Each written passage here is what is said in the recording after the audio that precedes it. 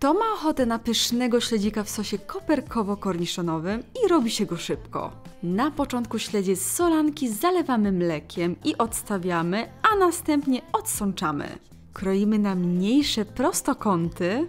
Gotowe wkładamy do miski i zabieramy się za ekspresowy sos. Ja dałam korniszony z dużą ilością papryczki chili, cieniutko pokrojoną czerwoną cebulę, duży pęczek koperku, a na koniec śmietana, majonez, musztarda, najlepiej delikatesowa bądź miodowa, pieprz, sól oraz oliwa i ocet jabłkowy.